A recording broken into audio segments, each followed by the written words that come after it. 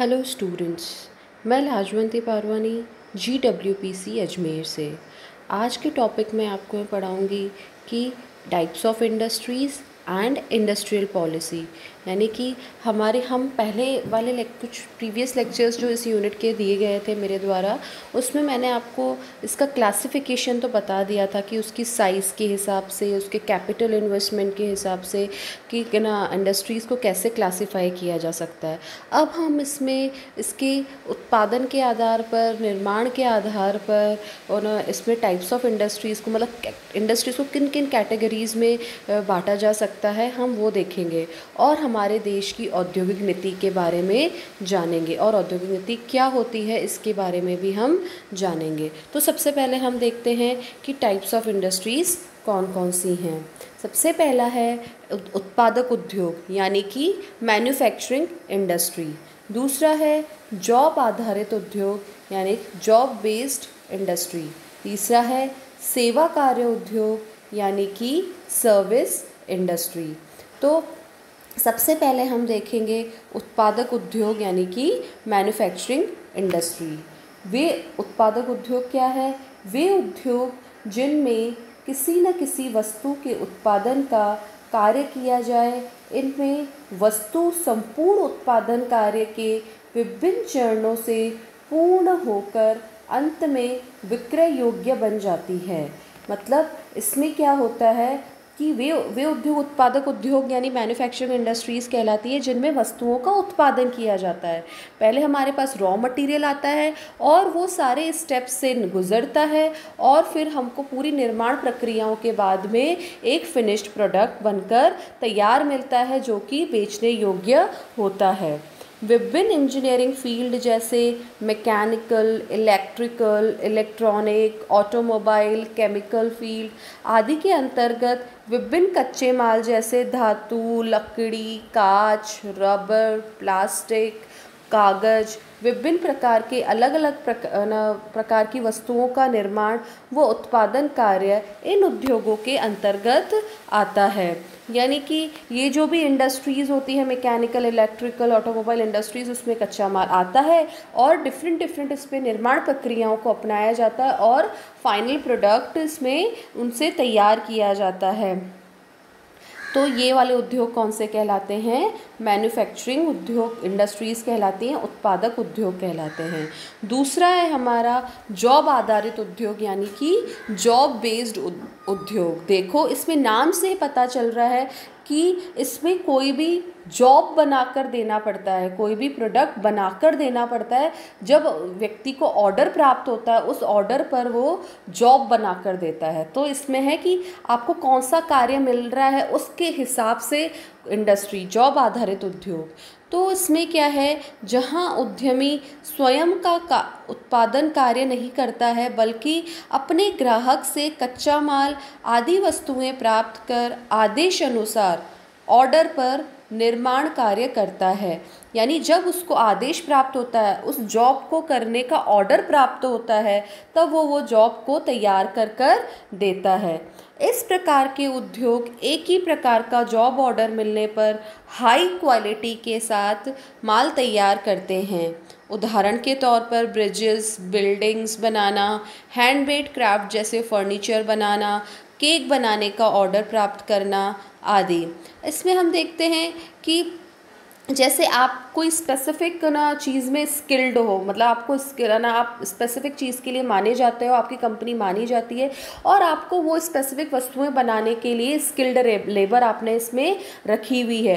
तो आप जैसे जैसे जैसे कोई पर्टिकुलर पेंटिंग बनाने का ऑर्डर मिला है तो आप वो हाई क्वालिटी के साथ अच्छे से अपने स्किल्ड लेबर का यूज़ करते हो पेंटिंग बनाकर ऑर्डर मिलने पर वो तैयार कर कर आप देते हो। ऐसे ही इसके एग्जाम्पल्स हैं कि जैसे कोई सिविल इंजीनियर है या ऐसे मतलब उसके पास उसी से रिलेटेड ना लेबर है तो वो जैसे ऑर्डर प्राप्त होता है, उसके पास कोई फैक्ट्री नहीं है इसकी, पर उसको जैसे ऑर्डर प्राप्त होता है कि ब्रिजेज़ और बिल्डिंग्स बनाने के लिए तो वो साइट पर जाकर भी उन चीज़ों को बनाते हैं। ऐसे ही अगर फर्नीचर बनाने वाली व्यक्ति है तो अगर उसको ऑर्डर मिलता है कि पर्टिकुलर कोई स्पेसिफिक फर्नीचर तैयार करने के लिए फर्नीचर डिज़ाइन स्पेसिफिक डिज़ाइन का फर्नीचर तैयार करने के लिए तो वो उसको अपनी स्किल्ड लेबर का यूज़ करते हुए, अपनी खुद की स्किल को यूज़ करते हुए हाई क्वालिटी के साथ बनाता है। तो ये सारे एग्जाम्पल्स किसके हैं? जॉब जॉब आधारित उद्योग के हैं जॉब बेस्ड उद्योग के हैं। नेक्स्ट हम देखते हैं सर्विस कार्य, सेवा कार्य उद्योग यानी कि सर्विस इंडस्ट्री इसके अंतर्गत कि सर्विसिंग का कार्य किया जाता है। अब नाम से ही देख लो सर्विसिंग का, मरम्मत का, आदि के कार्य इस प्रकार की इंडस्ट्री में किए जाते हैं। इसके अंतर्गत मशीनों की पूर्ण मरम्मत रख रखाव जिसको हम ओवरऑलिंग कहते हैं ना, चीज़ें पार्ट्स वगैरह खोल के उसको पूरा उसकी मेंटेनेंस करना, आदि उद्योग आते हैं, जैसे कि कार स्कूटर ट्रक सिलाई मशीन आदि की सफ़ाई व ल्यूब्रिकेशन क्रियाएँ आदि। इसके अलावा, इन उद्योगों के अंतर्गत मेडिकल फैसिलिटी डायग्नोस्टिक सेंटर घरेलू उपकरणों की मरम्मत कार्य वेल्डिंग कार्य आदि सारे जो उद्योग हैं, वो सर्विस इंडस्ट्री के अंतर्गत ही आते हैं, जो कि मतलब सेवा के उद्देश्य से खोले जाते हैं। जैसे कि मेडिकल फैसिलिटी हो गई डायग्नोस्टिक डायग्नोस्टिक सेंटर हो गया, ये सारे सर्विस इंडस्ट्री के अंतर्गत आते हैं। तो हमने इनमें पढ़ा कि हमने कैटेगरी पढ़ी कि हम किस प्रकार से इसको कैटेगराइज कर सकते हैं। तो पहला हमारा मैन्युफैक्चरिंग के आधार पर था, निर्माण उद्योगों के आधार पर मैन्युफैक्चरिंग इंडस्ट्री जिसमें निर्माण कार्य किया जाता है, और दूसरा हमारा भाई ऑर्डर प्राप्त होने पर पर्टिकुलर जॉब बनाने का ऑर्डर मिलता है। तो जॉब बेस्ड इंडस्ट्री हो गई, और बाकी जो ये सर्विस के उद्देश्य से होते हैं, जिसमें सर्विसिंग की सर्विस इंडस्ट्री के अंतर्गत आते हैं। तो हमने ये तीन प्रकार के इंडस्ट्रीज़ इसमें पढ़ी। अब हम पढ़ेंगे औद्योगिक नीति के बारे में, हमारी इंडस्ट्रियल पॉलिसी के बारे में। हम देखेंगे कि भाई इंडस्ट्रियल पॉलिसी की जन्म कैसे हुआ, इसकी आवश्यकता क्यों पड़ी और ये क्या है और कौन कौन सी नीतियाँ हमारे, है ना, देश में किन किन नीतियों की घोषणा की गई और उनके क्या क्या उद्देश्य थे। ठीक है तो सबसे पहले हम देखते हैं कि औद्योगिक नीति क्या है। औद्योगिक नीति प्रत्येक देश की अर्थव्यवस्था की रीढ़ होती है, जिस पर देश का भावी विकास निर्भर करता है। उचित औद्योगिक नीति अपनाने से ही प्रगतिशील अर्थव्यवस्था, देश की आवश्यकताओं के अनुसार उत्पादन, सामाजिक उत्थान व विदेशी मुद्रा अर्जित आदि का लाभ होता है, तथा देश का चहुमुखी विकास होता है। यानी कि अगर देश की इंडस्ट्रियल पॉलिसी उचित होगी तो देश की अर्थव्यवस्था बढ़ेगी, देश का भावी विकास होगा और सामाजिक उत्थान होगा, और जो देश की आवश्यकताओं के अनुसार ही उत्पादन होगा। देश में जो जो आवश्यकता है, उनके अनुसार हमारे को उद्योग जो है, उत्पादन कर कर देंगे। और साथ में विदेशी पूंजी मुद्रा भी अर्जित होगी, यानी हमारे देश में बाहर से भी पैसा आएगा, अगर उचित औद्योगिक नीति अपनाई जाती है तो। अब हम देखते हैं कि हमारे देश में औद्योगिक नीति का जन्म क्यों हुआ। हमारे देश की आर्थिक कमज़ोरी को देखते हुए, हमारे देश में कई औद्योगिक रुग्ण इकाइयों को देखते हुए, कच्चे माल व पूंजी की कमी को देखते हुए व बुरे औद्योगिक रिश्तों को देखते हुए हमारे देश में औद्योगिक नीति का जन्म हुआ। देखो, कई देश पूरा हिल गया था आर्थिक रूप से, स्वतंत्रता तक, और इसमें कई जो ऐसी इंडस्ट्रीज़ थी जो बिल्कुल इल हो गई थी, यानी रुग्ण हो गई थी। मतलब कई मशीनें जो उसमें ऑप्सलेट टेक्नोलॉजी की थी, चल नहीं रही थी मतलब वो इकाई बनी हुई थी लेकिन ऐसी मशीनरी नई नई टेक्नोलॉजी की मशीनरी नहीं होने के चलते स्किल्ड लेबर नहीं होने के चलते वो इकाइयाँ ऐसे ही बंद पड़ी थी। तो इन ऐसी चीज़ों को देखते हुए और हमारे देश में पूंजी की कमी हो गई थी ऐसी चीज़ों को देखते हुए औद्योगिक नीति का जन्म हुआ।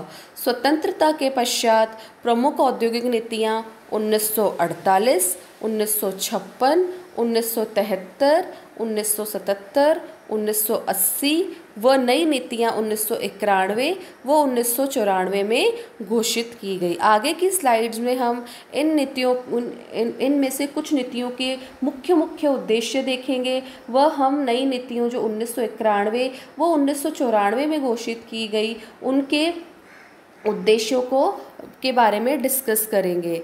अब ये औद्योगिक नीतियाँ क्या हैं? ये स्मॉल स्केल इंडस्ट्रीज़ जो लघु उद्योग हैं, उनको प्रोत्साहन देने के लिए सरकार द्वारा औद्योगिक नीतियाँ बनाई गई, क्योंकि यह राज्य सरकारों की प्राथमिक ज़िम्मेदारी होती है तथा लघु उद्योगों को बढ़ावा देने के लिए इस कार्य में राज्य सरकार को केंद्र सरकार पूरा सहयोग करती है। एक्चुअली जो औद्योगिक नीतियाँ हैं, केंद्र सरकार द्वारा बनाई जाती हैं और जो हमारी राज्य सरकारें हैं, इन लघु उद्योग हैं छोटे छोटे लघु व कुटीर उद्योग हैं, उनको बढ़ावा देने के लिए, बढ़ावा देना और उनको प्रोत्साहन देना इस, ये राज्य सरकारों की प्राथमिकता होती है। और केंद्र सरकार इन नीतियों को लाकर राज्य सरकारों को इस कार्य में पूरा सहयोग करती है। अब हम देखते हैं कि जो भी सरकार औद्योगिक नीतियाँ बनाते हैं, वो किन बिंदुओं को ध्यान में रखकर बनाते हैं? वो किन बिंदुओं पर ध्यान देती है? एक तो वो स्थापना कार्य प्रणाली आर्थिक वृद्धि उद्योगों का प्रबंधन। अर्थात जो भी हमारे है ना, उद्योग है, उनकी स्थापना कैसे की जाए, उनको ना, किन उद्योगों को लाइसेंस की आवश्यकता होगी, किन उद्योगों को नहीं है, और उसकी कैसी कार्य प्रणाली है, किन उद्योगों की कार्य प्रणाली किस प्रकार की है, और हमारे देश की आर्थिक वृद्धि कितनी होनी चाहिए, कितनी आवश्यकता है और किन उद्योगों को अपनाने से हमारे इकनॉमी में सुधार आएगा और उन उद्योगों का प्रबंधन कैसे किया जाए। इन बिंदुओं को ध्यान में रखते हुए औद्योगिक नीतियों को बनाया जाता है। और ये औद्योगिक नीतियाँ क्या हैं? एक ऐसा सरकारी दस्तावेज़ है जिसमें सारी नीतियाँ व नियम हैं जो देश के सारे उद्योगों को नियंत्रित करते हैं तथा औद्योगिकरण को आकार देते हैं, अर्थात ये जो सारे ऐसा डॉक्यूमेंट है जो हमारा औद्योगिक नीति है, उसमें सारी पॉलिसीज़ हैं रेगुलेशंस हैं उद्योगों को नियंत्रित करने के लिए। और हमारे देश में जो औद्योगिकरण हो रहा है इंडस्ट्रियलाइजेशन हो रहा है, उसको सही शेप देने के लिए ये सरकारी दस्तावेज़ बनाए जाते हैं। और इसके अलावा जो औद्योगिक नीति होती है, वो जो हमारे आयोजक हैं और जो हमारे प्रशासक हैं, उनको इंडस्ट्रीज़ को रेगुलेट करने व प्रमोट करने के लिए गाइडलाइंस तैयार करने में सहायक है। अर्थात जो भी हमारा एडमिनिस्ट्रेशन है, जो भी हमारे एडमिनिस्ट्रेटर्स हैं, प्रशासक हैं, उनको ये औद्योगिक नीतियों से गाइडलाइन मिलती है कि जो इंडस्ट्रीज़ है, उनको रेगुलेट कैसे किया जाए, व उनको प्रमोट कैसे किया जाए? उनके लिए क्या क्या गाइडलाइन निकाली जाए? उसमें ये औद्योगिक नीतियाँ उनको पूरा हेल्प करती है। ठीक है, इसके अलावा जो इंडस्ट्रियल इन्वेस्टर्स हैं, जो कि इंडस्ट्रीज़ में इन्वेस्ट करना चाहते हैं, उनके जो क्षेत्र हैं, उनकी जो सीमाएँ हैं, वो निर्धारित करने में ये औद्योगिक नीतियाँ सहायक होती हैं। तो हमने इस प्रकार देख लिया कि औद्योगिक नीतियाँ किस किस प्रकार सहायक हैं और इस सरकारी दस्तावेज़ में क्या क्या होता है। अब हम देखते हैं कि समय के, साथ में जो भी औद्योगिक नीतियाँ हैं वो कौन कौन सी हैं। हमने पहले भी बोला कि हम कुछ कुछ औद्योगिक नीतियों के मुख्य मुख्य उद्देश्य देखेंगे। उनमें समय के साथ कैसे कैसे परिवर्तन आया। तो जो वर्ष 1948 में जो औद्योगिक नीति लाई गई उसका उद्देश्य था आर्थिक विकास की गति में वृद्धि और औद्योगिकरण की गति में वृद्धि। और उसके बाद जो 1956 में जो औद्योगिक नीति लाई गई, उसमें आर्थिक विकास और औद्योगिक औद्योगिकरण की गति में वृद्धि के साथ साथ उसके मुख्य उद्देश्य क्या रखे गए? एक तो निजी क्षेत्र को सहायता देना और लघु व कुटीर उद्योगों की भूमिका में वृद्धि करना। इसके अलावा विभिन्न क्षेत्रों में औद्योगिक विकास का संतुलन करना। यानी कि है ना? कोई एक क्षेत्र बहुत आगे बढ़ रहा है, कोई एक क्षेत्र बिल्कुल पिछड़ा हुआ है, ऐसे नहीं। हर क्षेत्र में विकास को संतुलित करना, औद्योगिक विकास का संतुलन बिठाना और श्रमिकों को प्रोत्साहन देना। यानी कि इस पॉलिसी में क्या नया लाया गया? कि निजी क्षेत्र जो है, लघु व कुटीर उद्योग जो है, उन, उनको भी उनकी भूमिका में वृद्धि करना, उनको सहायता और निजी क्षेत्र को भी सहायता देना। और श्रमिकों को भी प्रोत्साहन देना। इसके बाद जो नीति लाई गई 1980 में उसमें क्या इसके क्या उद्देश्य थे?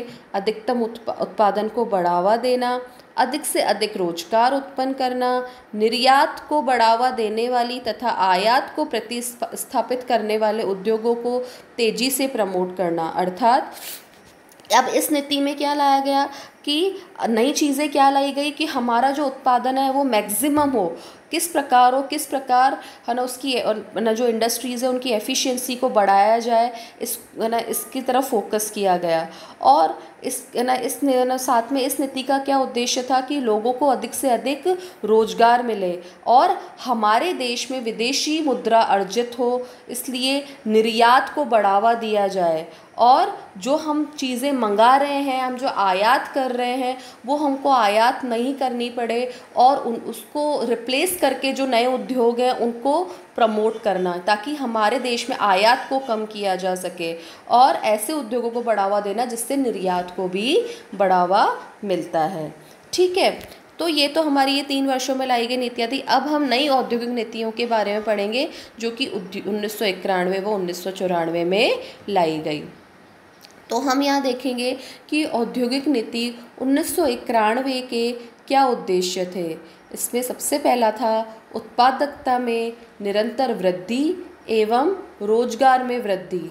इसके अलावा अंतर्राष्ट्रीय प्रतिस्पर्धा के लिए नई तकनीक का विकास करना, क्षेत्रीय संतुलित विकास के लिए पिछड़े इलाकों में औद्योगिकरण को बढ़ावा देना, पीएसयूज की उत्पादकता व क्षमता को बढ़ाना व उनके घाटे को कम करना। हमारे जो भी पब्लिक सेक्टर अंडरटेकिंग्स हैं, उनको लगातार घाटा होने लगा।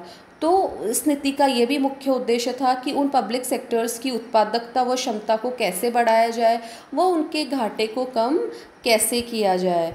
और इसके अलावा लघु उद्योगों को अधिक से अधिक सहायता देना और औद्योगिक लाइसेंस का उन्मूलन करना। औद्योगिक लाइसेंस का उन्मूलन का मतलब है कि जो भी लाइसेंस दिया जाता है इंडस्ट्रीज़ को, ठीक है, उसकी प्रक्रिया का सरलीकरण करना, क्योंकि इसमें कुछ कुछ उद्योगों को बिल्कुल फ्री कर दिया गया लाइसेंस लेने से, ताकि औद्योगिकरण को बढ़ावा दिया जा सके। और इसके बाद जो इसके उद्देश्य हैं, वो क्या हैं कि अधिकतम उद्योगों के लिए लाइसेंस की बाध्यता समाप्त करना कुछ उद्योगों को छोड़कर नई औद्योगिक इकाई लगाने के लिए लाइसेंस की आवश्यकता को समाप्त करना। इसमें कुछ उद्योग कौन से छोड़े गए? जो हाजर्डियस थे, यानी कि जैसे फटाकों की फैक्ट्री हो गई और ऐसे ही, है ना, कुछ ऐसे उद्योग जिनको बिना लाइसेंस के अलाउ नहीं कर सकते हैं, उनको तो लाइसेंस लेने के लिए लाइसेंस लेने के लिए उनको तो प्रतिबद्ध रखा गया और कुछ उद्योगों को लाइसेंस कुछ उद्योगों के लिए लाइसेंस की आवश्यकता को समाप्त किया गया। और इसके अलावा पब्लिक इंडस्ट्रीज़ का आरक्षण ख़त्म कर प्राइवेट इंडस्ट्रीज़ को बढ़ावा देना। देखो, ये बहुत इंपॉर्टेंट है कि भाई अगर सरकारी औद्योगिक नीति बन रही है तो लगता है कि सरकारी उद्योगों को ही बढ़ावा देगी। ऐसी बात नहीं है। इन्होंने किस पर शुरू से ही फोकस किया गया कि निजी क्षेत्रों को प्राइवेट इंडस्ट्रीज़ को भी बढ़ावा दिया जाए। उसके लिए सार्वजनिक उद्योगों को, के आरक्षण को कम किया गया या समाप्त किया गया। इसके साथ ही विदेशी निवेश पूंजी व तकनीक के प्रवाह को प्रोत्साहन देना। हमारे देश में विदेशी निवेश बढ़ाया जा सके और विदे, पूंजी व तकनीक तकनीक को आगे बढ़ाया जा सके, तक, और विदेशी मुद्रा भी अर्जित की जा सके। इसको, इस, है ना, औद्योगिक नीति का मुख्य उद्देश्य माना गया। इसके अलावा बड़े उद्योगों के लिए एमआरटीपी एक्ट 1969 लगाया गया, जिसके तहत नई इंडस्ट्रियल यूनिट को एमआरटीपी एक्ट कमीशन से क्लियरेंस लेना होता है और यह एक्ट आर्थिक शक्तियों के केंद्रीकरण, अनुचित व प्रतिबंधित व्यापारिक गतिविधियों पर रोक लगाने में सहायक है। इसका मतलब क्या है कि एक एक्ट लाया गया था एमआरटीपी एक्ट जो कि 1969 में लाया गया था। तो इस औद्योगिक नीति का मुख्य उद्देश्य था कि इसको लगाना स्ट्रिक्टली इसको फॉलोअप कराना। ये क्या ये क्या है, ये क्या कह रहा है? एमआरटीपी एक्ट क्या है? Monopolies and restrictive trade practices act यानी कि एकाधिकार व प्रतिबंधात्मक व्यापार अधिनियम। इसमें क्या है कि जो कुछ इंडस्ट्री जो पहले के, जो पहले के जो राजघराने हैं, जो पहले से ही सुदृढ़ इंडस्ट्रीज़ लगाने में ना, वो सक्षम थे, वो तो क्या हो गया, उन, आगे बढ़ते गए बढ़ते गए बढ़ते गए तो एक तरीके से क्या हो गया कि उनका इंडस्ट्रियल क्षेत्र में उनका एकाधिकार स्थापित हो गया। वो वो और इंडस्ट्रीज़ को आगे नहीं बढ़ने दे रहे थे। तो उनके एकाधिकार को ख़त्म करने के लिए यह एक्ट लाया गया। जिसके तहत क्या होता है कि और उद्योगों को भी बढ़ने का बराबर मौका मिलता है। तो इसके तहत क्या किया गया कि जो भी इंडस्ट्रियल यूनिट लगा रहा है, क्योंकि जो इंडस्ट्रियल पहले से इंडस्ट्रीज़ के क्षेत्र में आगे बढ़े हुए थे, नई इंडस्ट्रीज़ वही वही वही वही लोग खोलते जा रहे थे। तो उनको रोकने के लिए इंडस्ट्रियल यूनिट को एम आर कमीशन से क्लियरेंस लेना होता है। तो इस एक, ये एक्ट किस प्रकार सहायक है? ये जो आर्थिक शक्तियाँ उनके केंद्रीकरण को रोकने में सहायक है और अनुचित व प्रतिबंधित व्यापारिक गतिविधियों में भी रोक लगाने में यह एक्ट सहायक है। तो यह एमआरटीपी एक्ट है। इस इंडस्ट्रियल पॉलिसी में अच्छे से फॉलो करना इसका उद्देश्य था। उन्नीस सौ इक्यानवे में जो औद्योगिक नीति लाई गई ताकि आर्थिक शक्तियों के केंद्रीकरण को रोका जा सके। अब हम देखते हैं उन्नीस सौ चौरानवे में जो औद्योगिक नीति लाई गई, उसके उद्देश्य क्या क्या थे? इसमें निजी क्षेत्र को बढ़ावा दिया गया तथा इसमें निजी क्षेत्र को आधारभूत सुविधाएँ उपलब्ध कराने की केंद्रीय नीति को अपनाया गया। इन, इस औद्योगिक नीति में कई प्रक्रियाओं को सरल बनाने के लिए व समयबद्ध स्वीकृतियाँ देने के लिए एक कमेटी गठित की गई। और श्रम कानूनों के अंतर्गत होने वाले निरीक्षणों की संख्या में कमी की गई व निरीक्षणों को अधिक व्यवहारिक बनाया गया। अर्थात, जो भी हमारे जो श्रम श्रम कानून बनाए गए उनका सरलीकरण किया गया, ताकि इंडस्ट्रीज़ थोड़ा भयमुक्त हों और अपने व्यापार को आगे से आगे बढ़ाएँ और अपने प्रोडक्शन को आगे से आगे बढ़ाएँ। यानी कि उसमें जो निरीक्षण जो किए जाते थे, उसका थोड़ा सरलीकरण किया गया, उसको थोड़ा अधिक व्यवहारिक बनाया गया। इसके अलावा, इस नीति में खनिज उद्योगों में सेल्स टैक्स में अधिक छूट का प्रावधान किया गया, तथा गुणवत्ता में सुधार को प्रोत्साहित करने के लिए इस नीति में आईएसआई मार्क लेने व आईएसओ 9000 रजिस्ट्रेशन प्राप्त करने के लिए विशेष प्रोत्साहन दिया जाने लगा। अर्थात इसमें क्या है? इस नीति में क्वालिटी पर भी फोकस किया गया, उसको उद्देश्य बनाया गया, ताकि जो इंडस्ट्रीज़ जो उत्पादन कर रही हैं, अपने प्रोडक्ट की क्वालिटी को बढ़ाएँ तो इसके लिए उनको प्रोत्साहन दिया जाने लगा कि आप जो जो भी उद्योग लगा रहे हैं, उसमें आईएसओ सर्टिफिकेशन लें। तो ये तो हमारे क्या थे जो इंडस्ट्रियल पॉलिसीज़ को हमने इसमें क्या होता है, इसका जन्म क्यों हुआ, इस, इसके बारे में पढ़ा और इसके अलावा जो पहले जो औद्योगिक नीतियाँ लाई गई उसके बारे में पढ़ा और जो मुख्य औद्योगिक नीतियाँ थी जो उन्नीस सौ इक्यानवे में जो नई औद्योगिक नीति लाई गई और जो उन्नीस सौ चौरानवे में औद्योगिक नीति, हमने उसके उद्देश्यों को डिस्कस किया। Thank you